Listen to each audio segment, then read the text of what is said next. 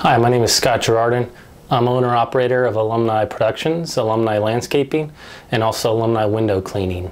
I met Quinton Hiebert about two years ago when I was first thinking of starting my own company, um, let alone three companies. I was very lost.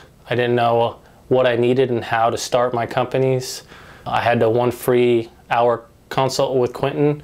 He answered thousands of questions I had, literally thousands of questions I had regarding how to start my business, what I would need, what paperwork I needed to fill out, tax questions I had.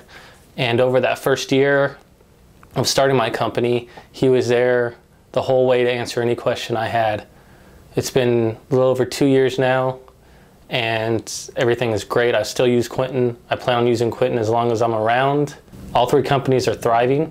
I thank Quinton for that. He really helped me out.